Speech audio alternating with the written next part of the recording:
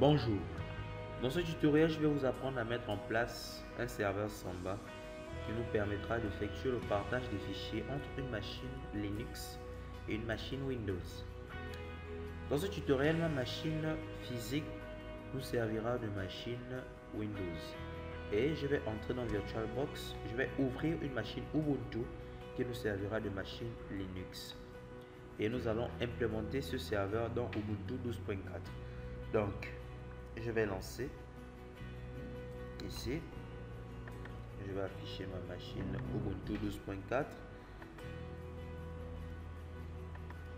voilà. Voilà. Ok. Donc je vais ouvrir mon terminal. Je vais ouvrir terminal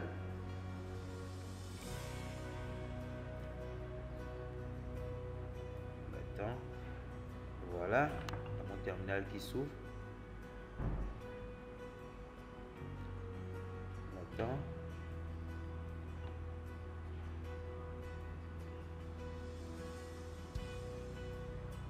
Ok. Ok. Mon terminal s'est ouvert. Ok. Donc, déjà, il faut comprendre que pour pouvoir mettre en place un serveur Samba et pour pouvoir effectuer le partage des fichiers, nos machines doivent d'abord être sur le même réseau. C'est-à-dire que si je veux qu'une machine X partage des fichiers avec une machine Y, les machines X et Y doivent d'abord être dans le même réseau et doivent pouvoir communiquer. C'est-à-dire qu'elles doivent pouvoir s'envoyer des pings.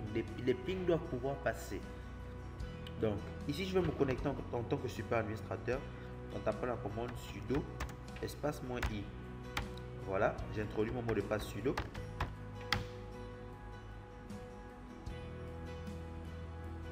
Je valide. Là, j'attends. Voilà. Vous voyez bien que je suis connecté en tant que route, super administrateur. Donc, comme je disais tantôt, je vais d'abord faire un je vais pinguer ma machine physique, ma machine Windows, pour savoir si ma machine Ubuntu communique avec elle. Donc, je vais faire le ping. Voilà, ping, je tape la commande ping et je vais introduire l'adresse IP qui est sur ma machine Windows, c'est-à-dire 10.10.10.95. Et voilà, et voilà. Et si mon ping passe, ça veut dire que je peux mettre en place mon serveur Samba. Donc, je vais arrêter le ping. Voilà. Bon. Donc, je vais créer un premier dossier. Un premier dossier qui va contenir le dossier que je veux partager. C'est-à-dire le dossier que je veux partager, le dossier que je veux mettre en réseau. Donc, je vais créer par exemple, je vais faire mkdir. Voilà, mkdir, espace. Je vais créer le dossier. Je vais créer le dossier, euh, disons, grâce.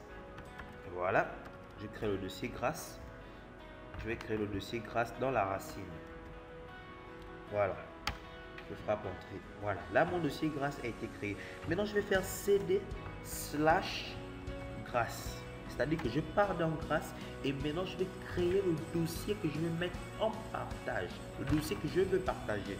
Donc je fais maintenant cd. Non, je fais toujours, je fais mkdir pour créer le dossier que je veux partager. mkdir. Et là, je vais créer can par exemple. Can. Voilà.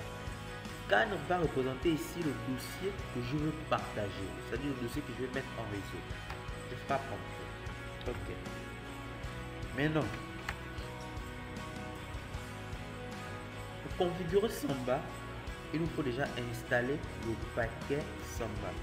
C'est-à-dire il faut taper la commande apt-get, voilà, apt, apt-get, voilà, apt-get install apt install samba. Voilà. Il faut installer ce paquet là. Il faut installer ce paquet il faut installer samba sur notre machine et une fois que c'est fait une fois que nous avons installé le, le paquet samba une fois que nous avons installé le paquet samba voilà. Je vous montre. Je vais pas je vais pas faire l'installation je montre juste euh, espacio vamos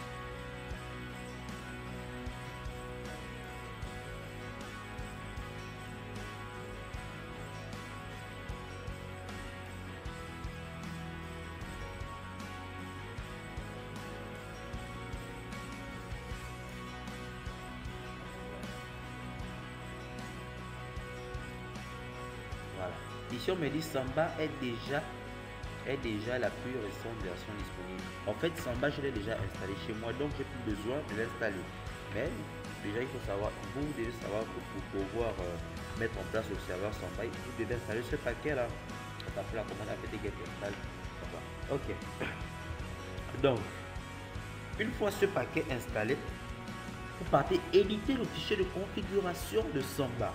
Donc, en frappant la commande nano, n'est-ce pas, slash ptc samba et smb.conf. C'est ce fichier-là. Ça, smb.conf représente le fichier de configuration de Samba. Donc, une fois que vous êtes entré dans ce fichier de configuration, vous descendez. Voilà. On descend. On descend. On descend. On descend. On descend. On descend. On descend. On descend. On descend. On descend. Ok.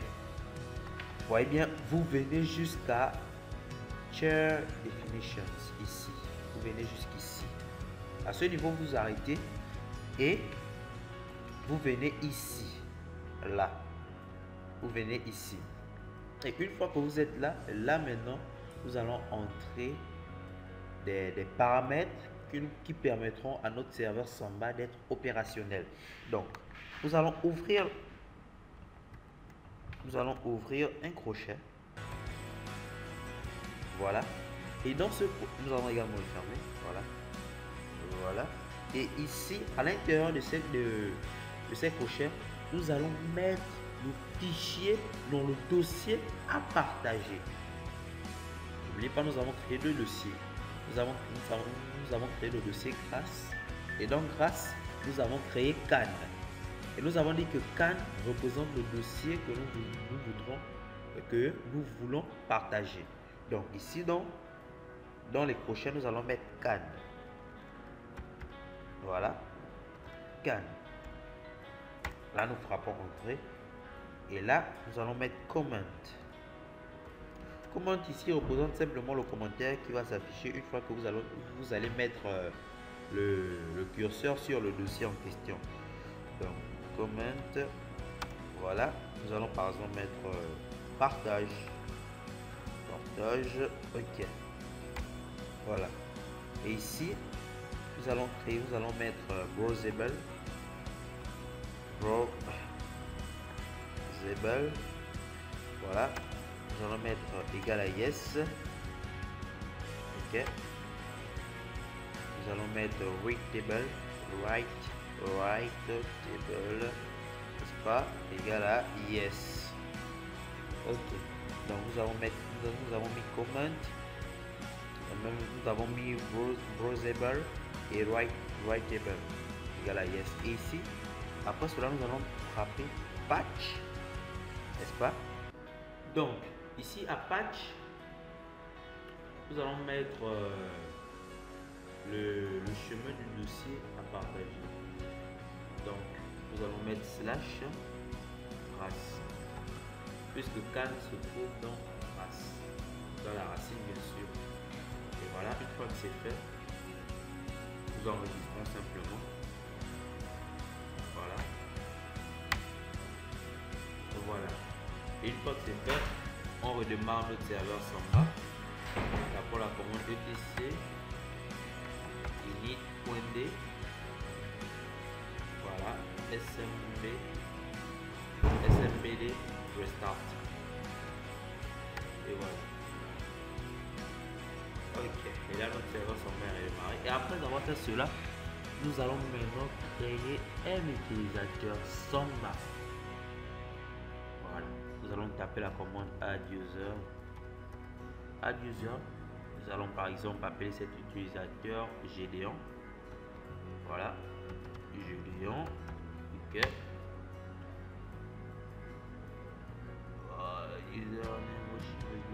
Ok d'accord. User.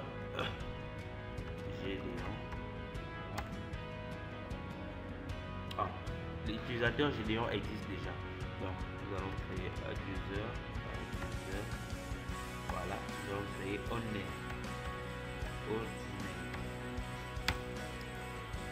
Voilà.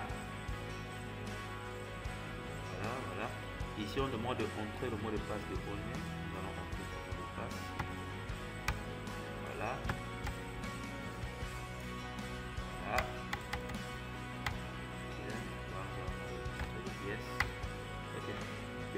c'est fait, nous allons donner le mot de passe Samba. Nous, en fait, nous allons créer le mot de passe Samba de l'utilisateur que nous venons à peine de créer. En partant de la commande SM, SMB, SMB, SMB passe WD espace moins A, suivi du nom de l'utilisateur. On Voilà. Ici, on demande d'entrer le mot de passe Samba de l'utilisateur. Nous allons l'entrer et voilà. Ok.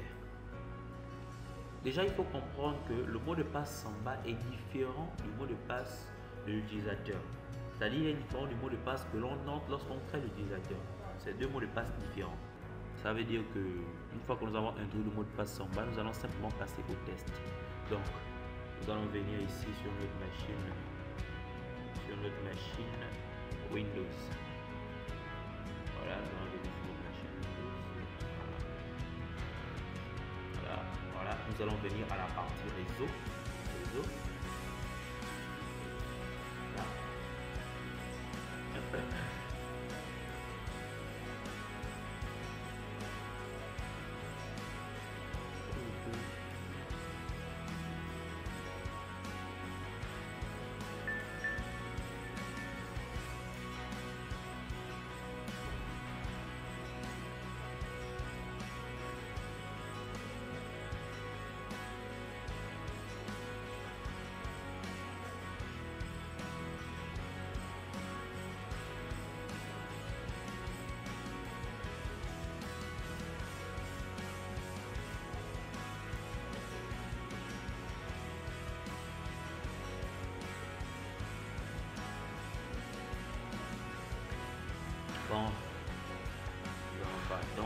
Voilà. Nous venons sur la barre de navigation et ici, nous allons frapper, nous allons mettre deux anti-slash suivi de l'adresse qui se trouve sur notre serveur Ubuntu. Donc nous allons déjà, nous allons revenir ici sur notre serveur Ubuntu, voilà. Et nous allons taper la commande ifconfig pour voir l'adresse qui est sur notre serveur sur notre serveur ici Ubuntu. Voilà. Voilà. Ici, nous avons pour adresse 10.10.10.174. Donc, c'est cette adresse-là que nous allons aller frapper sur la barre de navigation. Donc, ici, nous allons mettre deux anti-slash. Voilà. Nous allons mettre 10.10.10.174 et nous allons fermer avec un autre anti-slash. Et là, nous allons taper entrée. Et vous voyez, Ici, on nous demande d'introduire le mot de passe de l'utilisateur, le nom de l'utilisateur et son mot de passe. Nous avons, créé l'utilisateur Onet. Donc, nous allons mettre Onet. Voilà. Et nous allons introduire le mot de passe Samba de Onet. Pas le mot de passe que nous avons introduit lorsque nous, lorsque nous avons créé l'utilisateur. Non, pas ce mot de passe. Nous introduisons le mot de passe Samba de Onet. Donc, nous allons introduire ce mot de passe Samba. Et voilà. Et voilà. Vous voyez, bien ici que nous avons le fichier, le dossier à partager. De ce que nous voulons partager, c'est. Que nous avons mis en réseau, c'est bien Cannes. Et c'est Cannes qui est bien ici. Donc, ce qui veut dire que notre serveur semble bien opérationnel. Et encore, nous pouvons effectuer des tests.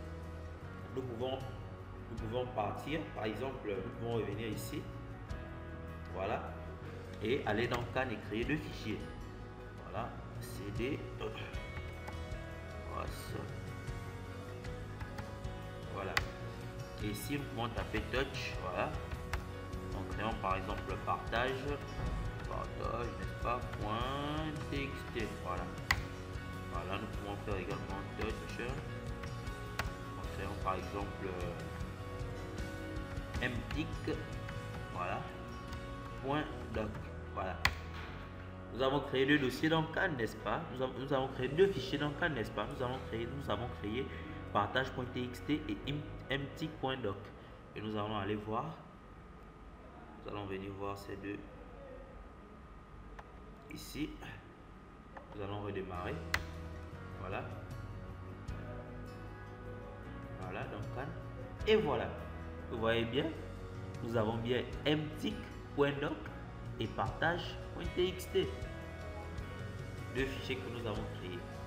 Donc, c'est ainsi que l'on met en place un serveur Samba sur euh, Ubuntu. Donc, je vous remercie.